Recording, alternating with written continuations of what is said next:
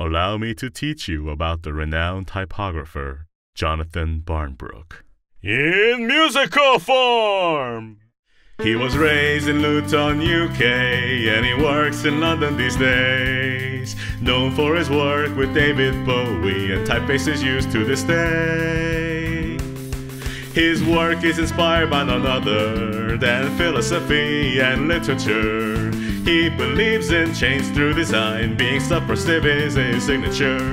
He made a typeface called Priori, stands from type all around him. Its strokes are uniform and compared to Gill Sans, it's less condensed and very angular. Still, in some points, they're quite similar. Priori Sans was a success, one of many. It found its use in places of plenty. Jonathan Barnbrook was king of design, now and forever ahead of his time.